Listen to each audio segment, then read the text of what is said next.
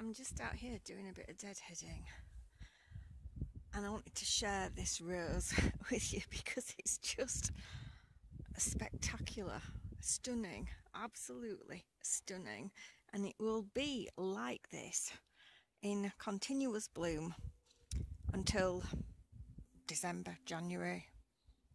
It'll just keep going. It did last year. I don't know for sure who this is. I did a lot of research and asked a lot of questions and looked at thousands of photos and descriptions and fragrances and anyway I think it might be Sophie's Perpetual but I don't know for sure. And it was here when we moved in bought this place in uh, the end of 21 so this has been here a long time though because the neighbour over the road that we sort of made friends with um, they remember this rose from a long time ago. So uh, I think this rose has been here ages. I cut this down last year to about two and a half foot maybe around that. Um, and it is throwing up new canes you see here look lovely lush boing soft bouncy lovely new cane there. And there's another one here look because I chopped this off down here. You can see in here. Um, I cut that off there because that was not producing last year. There was um, a big fat gnarly cane that came this way but um, nothing grew on it at all. It just looked spent, really. So um, I sort of hacked that off, and look what's happening. You see, because of that. Look, a newbie. Look, ooh, nice and bendy, lovely new, lovely new cane. So there's a few of those around. So it didn't mind me doing that because I was a bit concerned that I was making it look sort of windswept to the right because it didn't have any canes over here. Well, Mother Nature is a wonderful thing, isn't it? Because look, I have got myself a new cane over here. So, Sophie, or whoever she is, Miss Gorgeous here, won't look, um, although she doesn't really when she's I know it's lopsided because I know that all these canes are heading off to the east over there, um, and there's nothing coming in this direction at all. But really, as you look at it as a as a shrub, nobody would really know that, but I know that. So I'm chuffed that um, there's something going to be going um, in the opposite direction. And um, she didn't mind me chopping that off because I chopped quite a bit off, but it wasn't productive and it was really old like the rest of this. And um, maybe over the next few years, you know, I can chop a few more of these old gnarly ones off and um, rejuvenate her and, and, you know. But anyway, um, I just thought I would show you how beautiful she is. And I can't say for certain that it's Sophie's Perpetual. But what I do know is that it has a tea, a rose tea scent, and it is spicy. Look, look how lovely she is. Oh, the wind. this is not broken, by the way. This is this is me. this is this is me, my nursing skills. not. um, we've had really gusty wind for days and days and um, I was about to deadhead it and I realised it wasn't um, snapped, it hadn't actually fully bent, it was just kind of slightly bent over. So I went into the potting shed and I found um, a twig because I keep all my twigs and um, canes and things that I cut off other things because they come in handy for clematis and all kinds of stuff, propping stuff up. And so I've made a splint for it. Now, I used to use frog tape for this for my clematis when, because sometimes clematis can do this, they can get a bit whipped about and they're not, they're not actually damaged, but they just need a bit of help. And I used to use um, green frog tape for this um, purpose, but when I went, um, they didn't have any green, so we've ended up with blue. um, but it's the same stuff. It's just like masking tape. Um, and I've just put a small, very thin uh, twig that I've cut off something. I don't know what, but anyway, I've cut it off something. And I've just made a splint for it really and fastened it on so it's fine now. And I'll get to enjoy all these blooms, look, whereas if it had have been properly bent, I would have had to have cut that back, you know, just probably to, to here. Um, so that will give me all these, you see. So what's that? Three, six, nine, like, what is that, 11? So I, I get to see 11 blooms that I wouldn't have seen if I'd had to gut and cut that down. So although it looks a bit silly, and I don't have any green frog tape, so it's a bit obvious with the blue. But anyway, so if you if you do get a a bit of a bendy bit, you don't have to chop it off. If you if you've got good nursing skills like me, you could um, you could make a little splint. Anyway, it'll only be on there till these are finished, and then it'll come off, and I'll cut it back down to there, and we'll be we'll be off again. But we've had some really nasty, nasty gusty winds, and um, that one must have taken the brunt of it, and it's just got a nasty little um, like a limp bend in it. So anyway, it's fixed now. It hasn't. So there you go. But doesn't she look? Doesn't she look? She look gorgeous.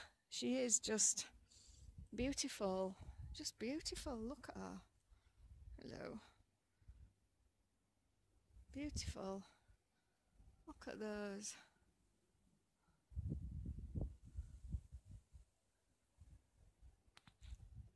She's really good. She is really, really good. Hello. You think so as well, don't you? Yeah, she's good, isn't she? Smells good. Spicy tea I get. Stick my nose in here. Yesterday I stick my nose in here and um, there was a wasp already in here, so I think we were both a bit surprised. We were eye to eye, but I managed to get away without getting getting stung. yeah. Rosy. Spicy. See, there's a creature in there, I think, already, so don't stick your nose in there. Who's that?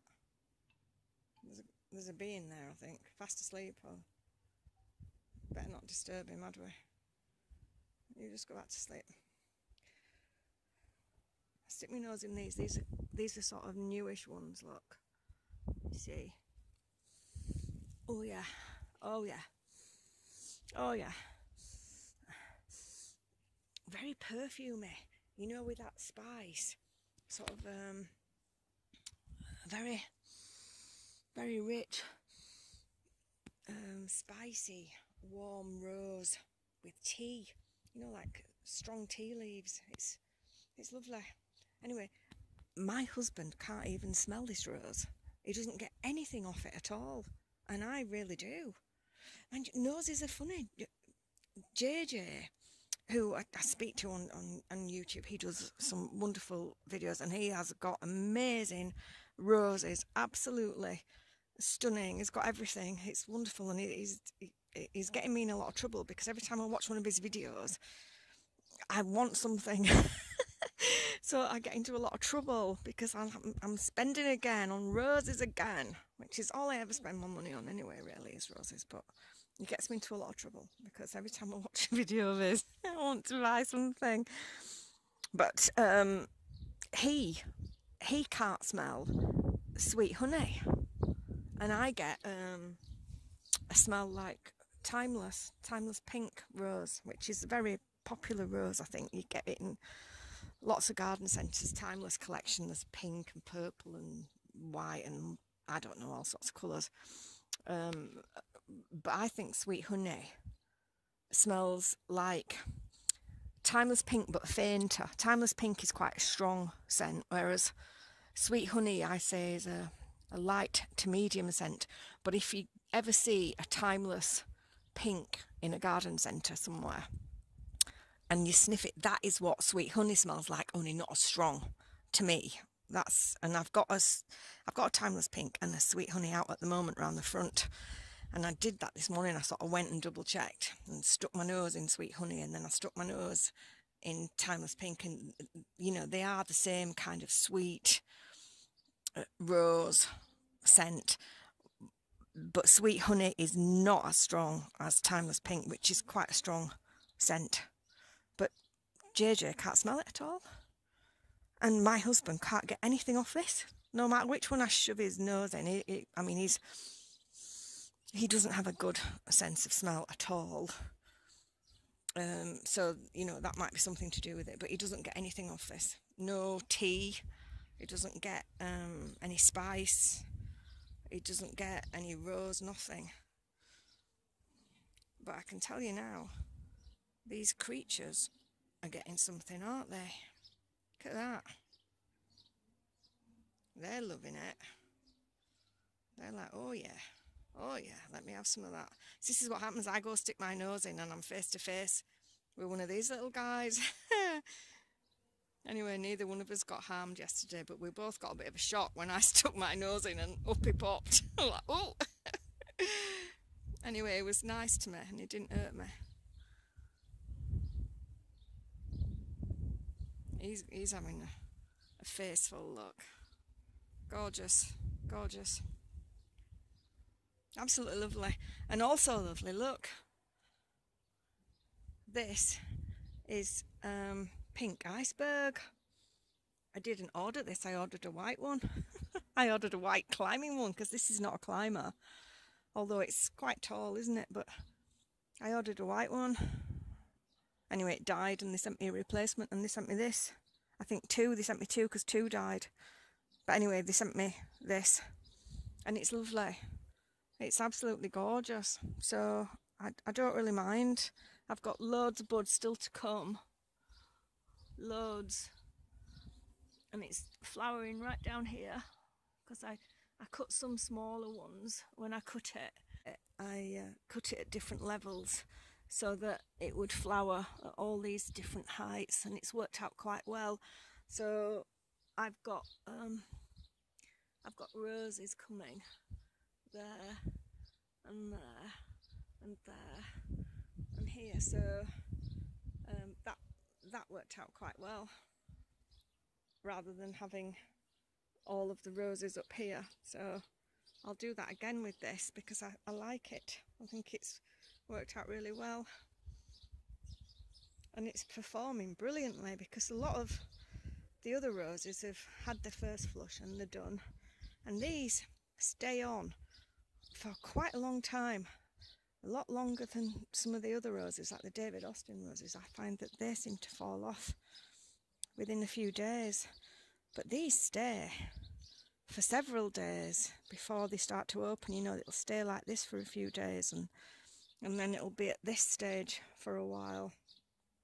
And then this you know it it takes a while for them to fully open. Oh all right am I in your way but look there's loads on it this is Gyrenus from a cutting I did and there's another one where's the other one here's the other one but this look at that. Not bad, is it? It's looking lovely. But this is, I mean, it really just is. Just gorgeous, absolutely. Just beautiful. I love it. But I can't say for certain that it is Sophie's Perpetual. All I know is that it's it's a warm, spicy tea, a bit rosy fragrance, and that it fades in the middle and it's paler, almost silvery pink in the centre, and then it's much darker around the edges. And it's huge! anyway, whatever it is, I absolutely love it. And I'm really chuffed about this little fella here. And look what he's got on top. Look all these. Fabulous. Fabulous. Who else have I got to show you? This is still going. This is our Beth. See, I'm out deadheading. I haven't done this one. Um, but our Beth is still going, look.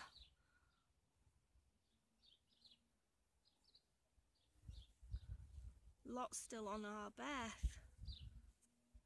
And she has a lovely, lovely fragrance. Look.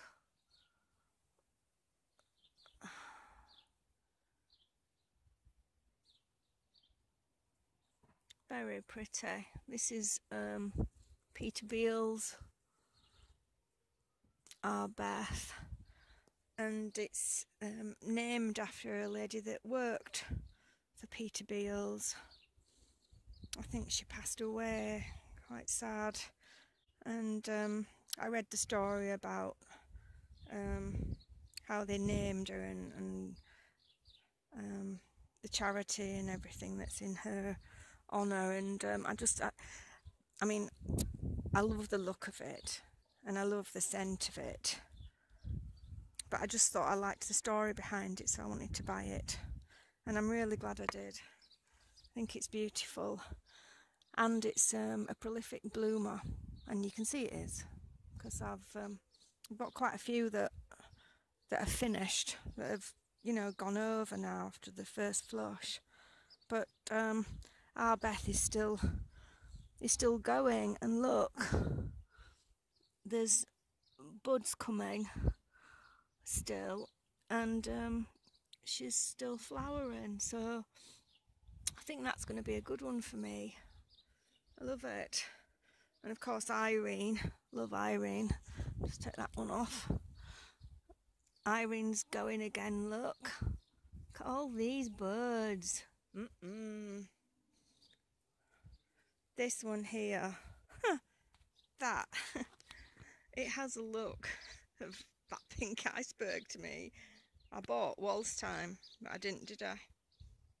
Mislabeled. Surprising. And look, this is Margaret Merrill, and she's got, she's got a bud there. So, and there's some buds coming there on Margaret Merrill. And here, look, She's uh, lovely. Of course, England's Rose that I did the video of the other day.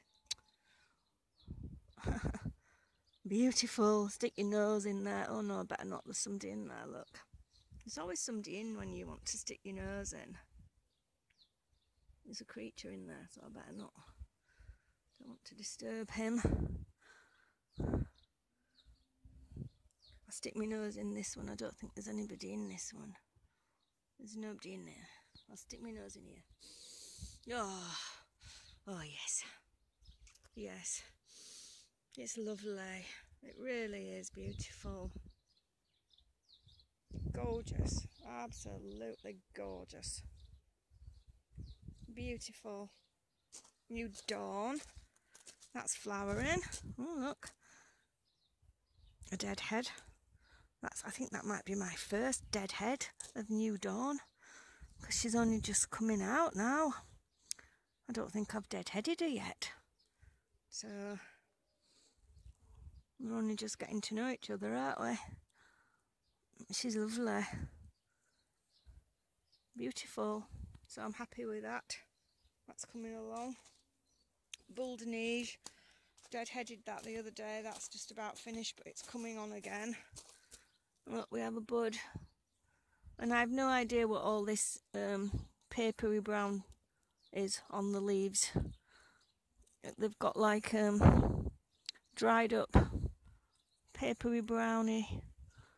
I don't know, can't see any aphids. So I don't know if it's just the sun, if it's been too hot, or if it's something else, or if it's a deficiency or what, but um, papery. It just comes away. So I'm not sure what that is. I'll have to I'll have to look that up because I've not seen that before. But um, I'm not sure what's causing that. But it's not stopping it blooming, so that's good. And ballerina's blooming. These are all um, bare roots from um, earlier on this year. So they're only these are all babies. They're just you know they're in the they're in the first year, so they're not going to be wowzer yet, but they're getting going. These are lovely. I love my clematis. Beautiful. This again, mislabeled. Supposed to be Miss Bateman. And Miss Bateman is white.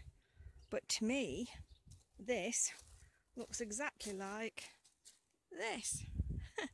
and this is Comtesse de Bouchaud. So I think that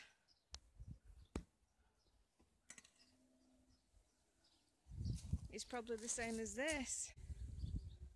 If not, they are very similar. Anyway, that's quite nice actually, if they do match up and they join up up here. That's quite nice actually, isn't it, if they are the same. But it was supposed to be white one, that. Anyway, it's not.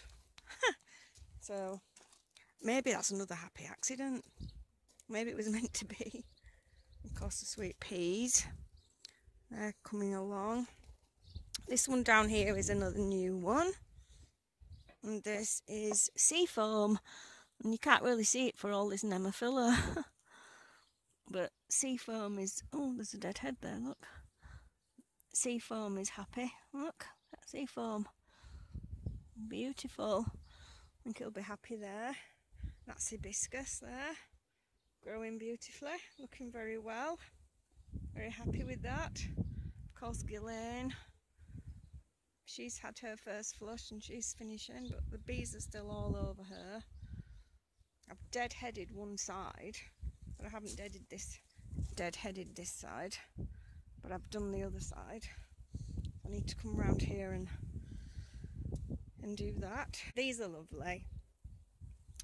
These are called flocks of sheep. Aren't they cute? Look at them. They're really bonny, they're lovely. I love them. They're just um, so delicate looking. And the colours.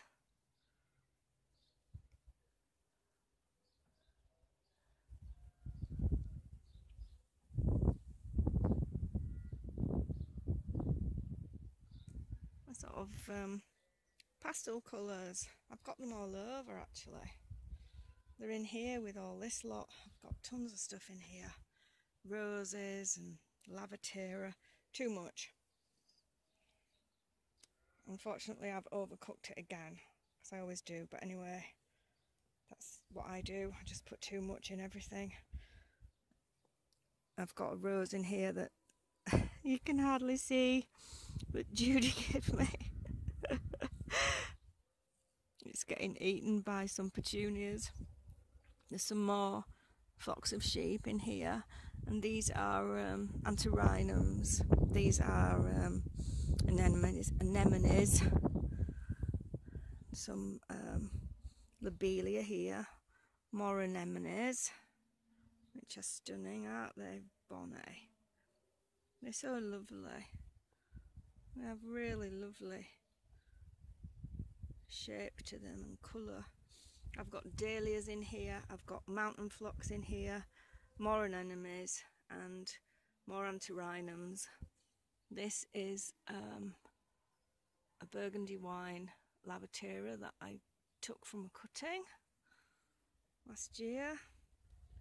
Another rose, I think that's just a supermarket type rose, it's nothing to write home about, but it's pink and it's flowering and it's full of buds so it's um, it's welcome.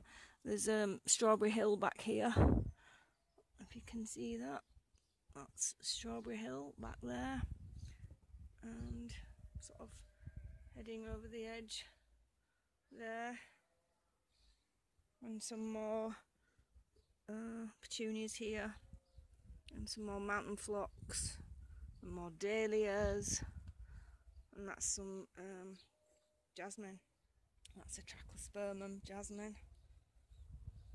But they don't look bad, do they, these? This is pretty. That's Achillea. That's lovely, isn't it? And these are geraniums. They're lovely. That's donation. Camellia. my favourite camellia, beautiful pink, sort of semi-double flowers, glorious. And it's doing well now. It wasn't. It was quite yellow and unhappy because I think our pH is not ideal. I think we're just over um, what it would tolerate, but only just, if you know what I mean. So I have to amend the soil. But if you feed them and put the right ericaceous soil in, then they do reward you. And she's glossy and happy now, and she wasn't. She was yellow and not getting the nutrients she needed, but she's fine now. And if you look, you can see how how happy she is now to say that we don't really have the soil naturally to grow acid loving plants. She's um, she's doing okay. I added some uh, sulfate of iron and um, I bought um, some feed, granular slow release feed, and of course she's in ericaceous compost, but quite often that's not enough because you know the ericaceous compost it's only good for um, a short space of time, just for a few months, and after that um, you know it starts to dwindle. So you do need to top it up with with you know um, iron. So but I've done that and she's she's happy now. She's saying ooh Emily's still in flower. I've cut a lot of them off but this is one cane that is still producing and it's got an antirrhinum stuck around the back of it. But this is Emily and she's still got flowers on which is lovely. I do love Emily. She's just about finished her first flush really. This will be the last of it and I cut the others back sort of last week and they're done but that that's the last cane that's got any roses on of Emily so but she is strong. She is a really lovely, lovely scent, beautiful scent.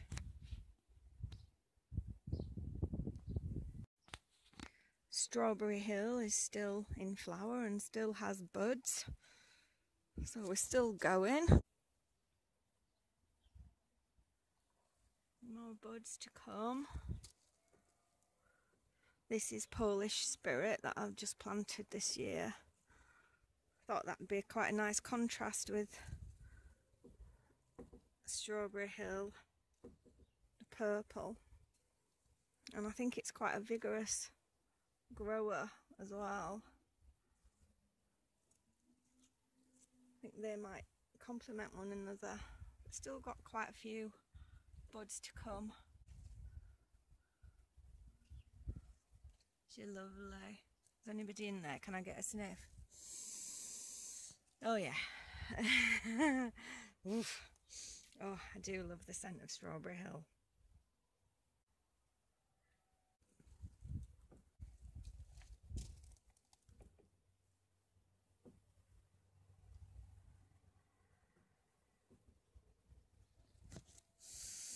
Oh.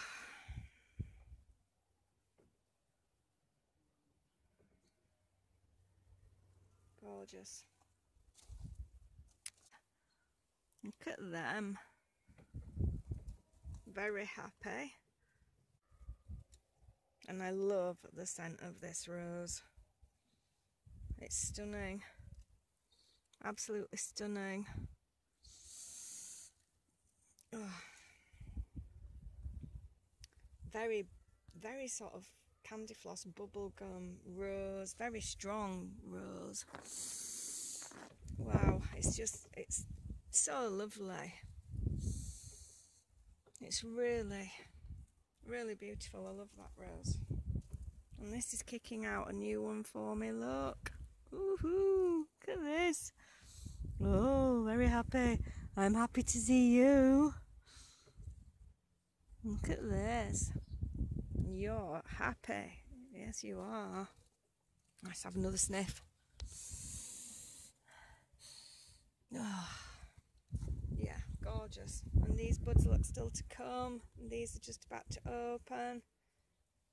We've had so much rain and so much wind that you have to give this lot a round of applause for hanging in there. These poor things. I mean, we've had ghosty, horrible wind. In fact, look, this is my actinidia kolomikta in here.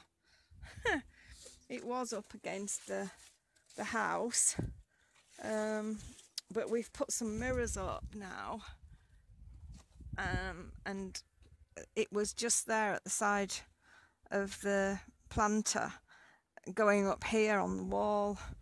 So um, I've moved it for now. I'm going to have to find a new place for it. I've had them ages because when I got the one for the front, when I moved everything around there, the, the acers, when I moved the acers around the front because some of them were burning, I bought a mirror for the area where the acers are going because it just seemed a bit a bit bland. It needed some it needed to be lifted somehow and get a bit of light reflected.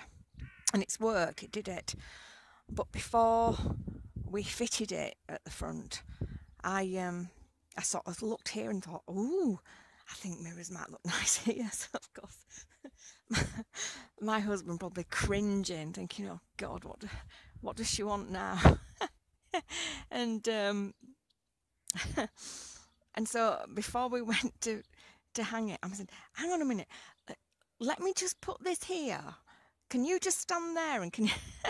anyway, um, offered it up to have a look and thought, "Oh yeah, I like that." One either side of the kitchen window is going to look amazing, and it um, it it will just it'll just look great.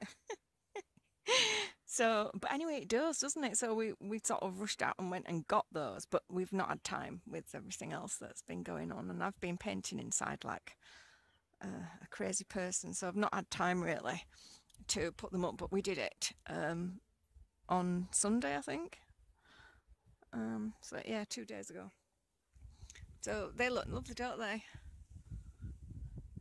And they sort of reflect uh, the view. You can I don't know if you can see in there, but you can actually see you can actually see the view that we have over the hills far away. But it just looks lovely. I, I just like the I like the uh, effect that you get from it. It's beautiful and you can actually see the hanging basket reflected in the the window. They look lovely. Hanging baskets looking lovely. And you can see the fountain reflected and they just, I think they just add something. Anyway, I was sort of in trouble for that, but I think now that he's seen them up and how it looks, I think, I think I'm forgiven now. But it, does look nice. Don't think I can get them for anywhere else. I think, I think it might be too much to put them anywhere else. We've got enough now with three.